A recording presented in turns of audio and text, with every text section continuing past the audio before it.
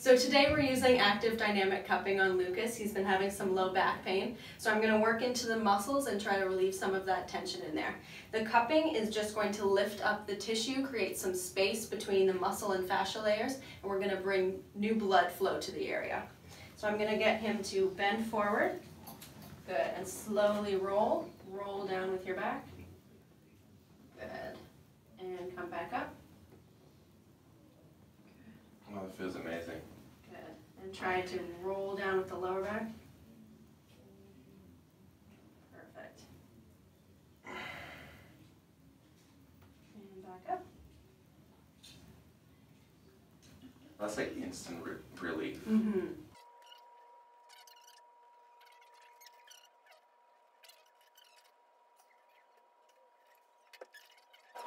So you are already red, you're probably gonna notice a little bit of, it's gonna look like bruising, but if you poke it, it's not gonna feel like a bruise. Probably tomorrow.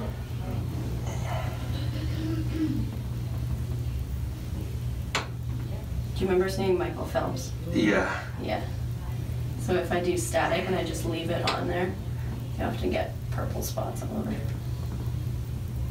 Right in here. Yeah. Yeah. Can you feel the bumpiness Yeah, I of it can. rolling? Yeah. What is that? That's like a knot in there, or?